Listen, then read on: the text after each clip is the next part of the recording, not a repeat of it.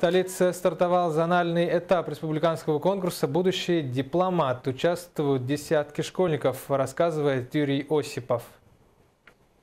В первой половине февраля по всей стране отмечается День дипломата. В это же время в Якутии проходит зональный этап конкурса для школьников «Будущий дипломат». Он помогает молодым дарованиям постичь азы этой профессии.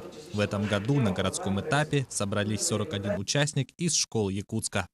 Конкурс, по сути, является уникальным, не имеющий аналогов по всей России. Конкурс, который проводится в Республике Саха-Якутия по по инициативе представительства Министерства иностранных дел. Здесь дети могут продемонстрировать свои знания в области международной проблематики, краеведения и иностранного языка. Они готовят свои эссе на заданные темы и защищают их, демонстрируют свои ораторские способности и участвуют в дебатах. Каждый ребенок, пришедший на конкурс, имеет перед собой четкую цель которые будут способствовать моему становлению как общественно значимой личности, как высококвалифицированного профессионала в области юриспруденции.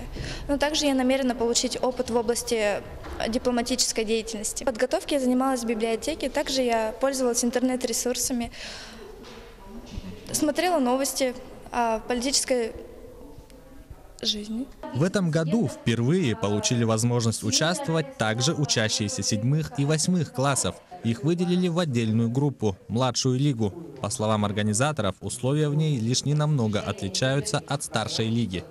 А, этот конкурс очень а, престижный, я горд а, представлять свой лицей на этом конкурсе. Я хочу проверить себя, а также получить опыт.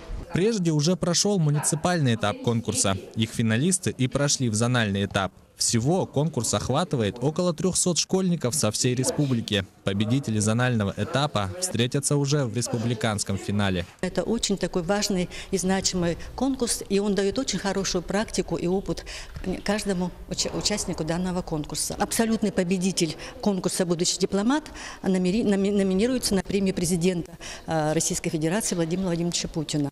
Ну а также, конечно, мы предоставляем путевки э, во всероссийские значит, центры, такие как «Океан». Главный приз конкурса – возможность получить образование в одном из крупнейших центров по подготовке высококвалифицированных кадров Дипломатической академии России.